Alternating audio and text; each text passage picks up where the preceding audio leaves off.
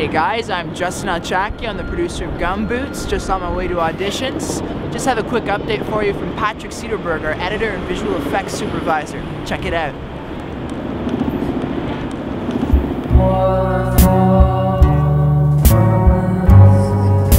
Hi there guys, I'm Patrick Cederberg. I'm uh, editing and visual effects on the sci-fi short Gumboots.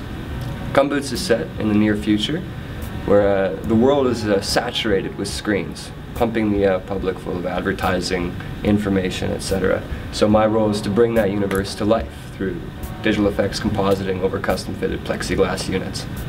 We're kind of going for a Minority Report-esque feel. I guess by now you must have seen the teaser for Gumboots, and if you haven't, check it out on our YouTube channel. Uh, and there you can see the mnemonoscope in action. And uh, I can run you through a very quick, very concise, abridged version of how we achieve that effect. So here we have our footage, and the first thing we want to do is track the motion of the head in the plate we'll be uh, comping in the mnemonoscope footage to ensure that as his head moves, the footage will follow suit. And here you can see us use the sheen from his eye as a tracking point to track that motion of the pan down. Next thing we're going to want to do is uh, mask out the middle of the screen right here and we'll use a color key, in this case key light, to clean up the green around the edges of the mask. And then what we're going to do is animate the mask to ensure it follows his head as it moves.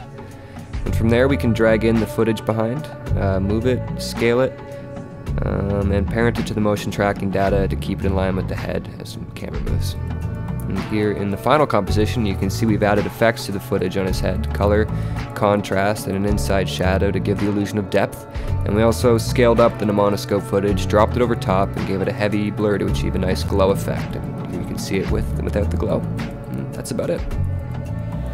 So, we're clearly trying to do a lot with little. We're working with a very tight budget. Um, but it's an all-star crew. It's a bunch of people I'm very excited to be working with, a bunch of really talented individuals, but we need your help.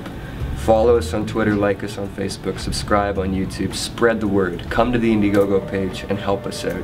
Your contributions, however minor, uh, mean the world to us because it helps us bring this vision to life.